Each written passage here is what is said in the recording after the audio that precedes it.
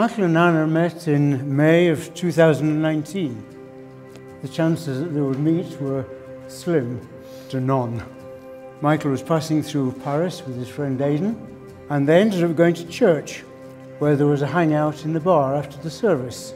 It was there that he met his wife to be, Anna.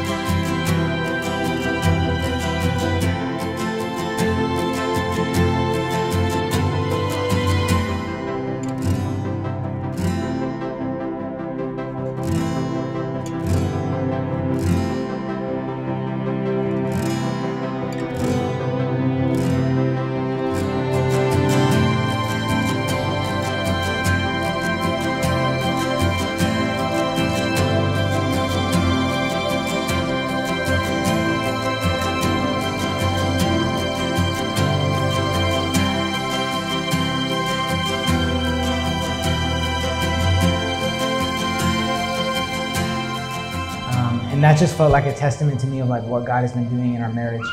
Of like He's working things out, and like there's going to be all these trials that come up, and like I promise you guys, like if there's something that God has in your life, like whatever things come up, you won't even notice them, because like seeing my bride walk up and seeing the plan God has for my life um, made me cry like a baby for like 25 minutes.